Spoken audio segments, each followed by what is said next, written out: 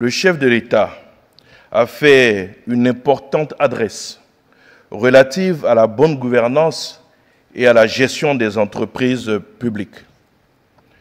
D'une façon générale, le chef de l'État a tenu à saluer les progrès qui ont été réalisés de façon globale dans ces entreprises et qui ont permis une amélioration de leur chiffre d'affaires et une augmentation de leurs résultats nets.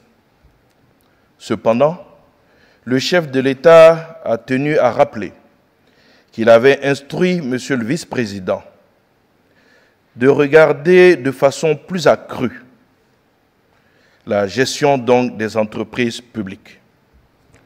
Conformément à cette instruction, des contrôles et audits ont été diligentés et ont révélé des dysfonctionnements et des problèmes de gestion et de gouvernance dans certaines entreprises publiques.